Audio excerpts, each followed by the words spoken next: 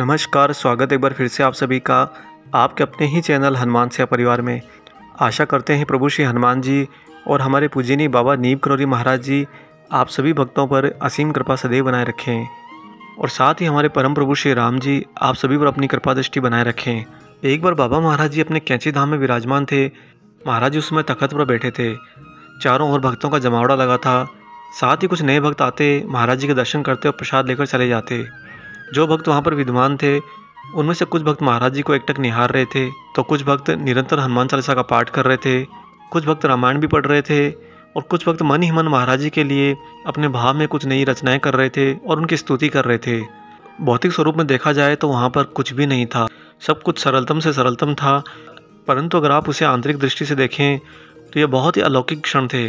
बाबा महाराज जी की ऊर्जा कुछ इस तरह से रहती थी कि सभी का मस्तिष्क शून्य स्थिति में चला जाता और जब हमारा मस्तिष्क शून्य स्थिति में होता है तो हम खुली आँखों से भी समाधि में होते हैं और उस स्थिति के अंदर हमारी आत्मा वास्तविकता से रूबरू होती है, इस अवास्तविकता के धरातल पर रहते हुए। साथ ही बहुत से वक्त ऐसे भी होते हैं जो मन ही मन कुछ प्रश्न लेकर घर से आते हैं, परंतु जब बाबा महाराज जी के समक्ष आकर बैठते तो सब भूल जाते। उस दिन अचानक एक भक्त ने आगे बढ़कर महाराज जी से आज्ञा मांगी, बोला, बाबा, मुझे एक प्रश्न बहुत परेशान कर रहा है। महाराज जी ने कहा कि, पूछो। उस भक्त ने कहा कि बाबा, ये हनुमान चालीसा पढ़ने से हमें क्या फ़ायदा होता है?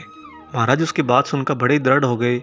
बाबा ने अपनी आँखें बंद करी और फिर महाराज जी ने उन्हें बताया कि हनुमान चालीसा स्वयं में ही पूर्ण हनुमान का स्वरूप है।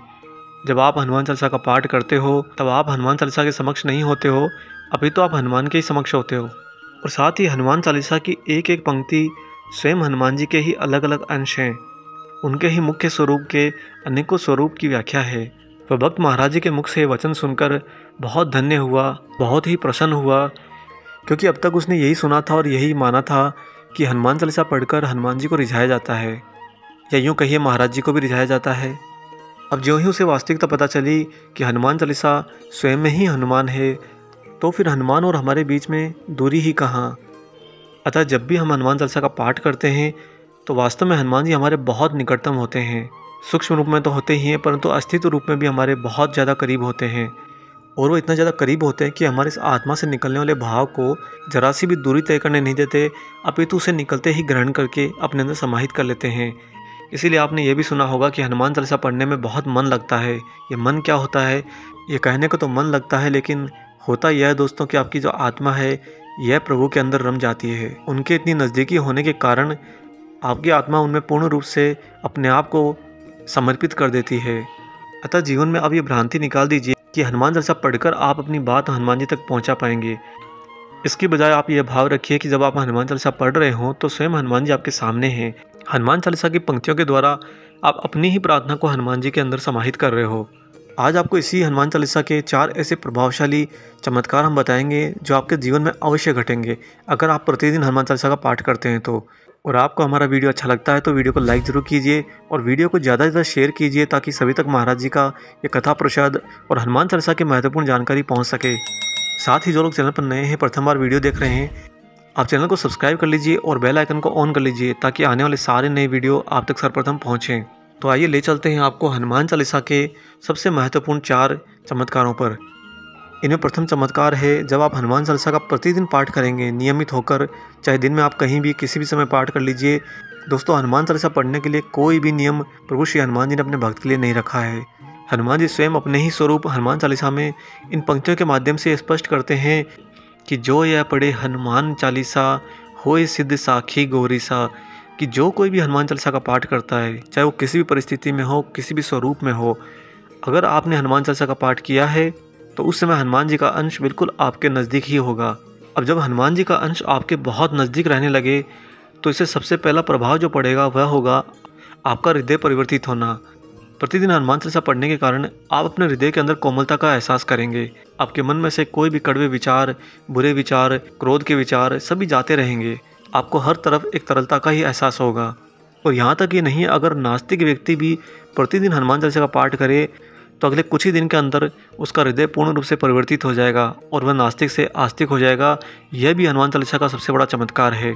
आगे प्रतिदिन हनुमान चालीसा पढ़ने से जो दूसरा सबसे बड़ा चमत्कार होता है, वह यह है कि आपके जीवन से अनावश्यक कर्म सारे हट जाते हैं। आप वही कर्म करते हो जो प्रभु को, आपके गुरु को प्यारे होते हैं और उनके द्वारा निर्धारित किए जाते हैं, उनके द्वारा संपादित किए जाते हैं।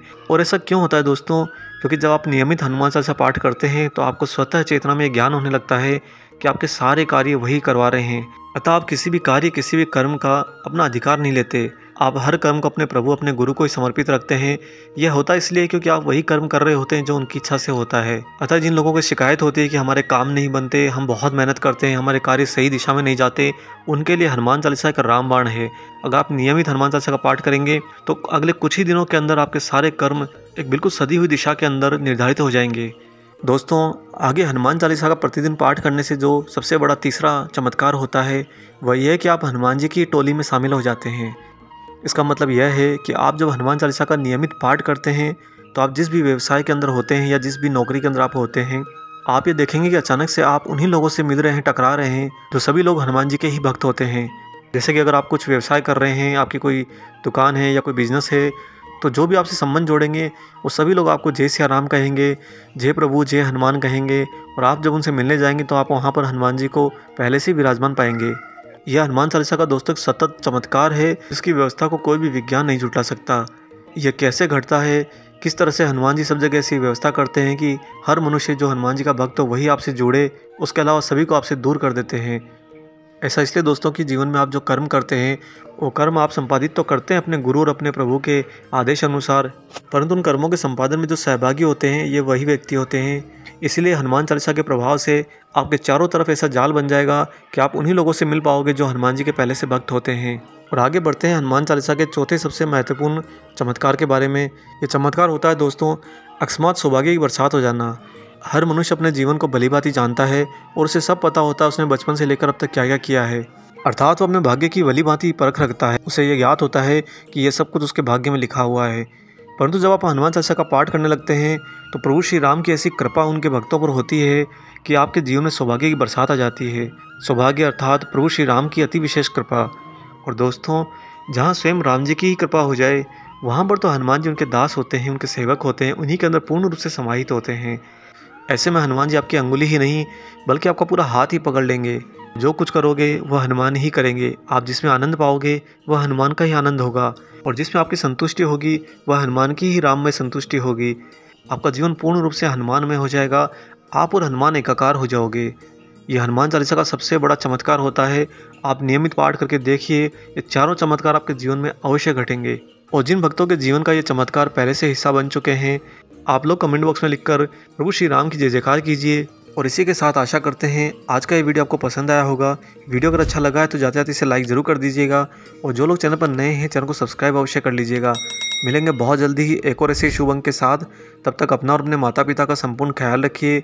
और परम प्रभु श्री राम जी का निरंतर गुणगान करते हुए बाबा हनुमान और बाबा नीम करोरी महाराज जी की निस्वार्थ होकर सेवा करते रहिए। जय सिया राम।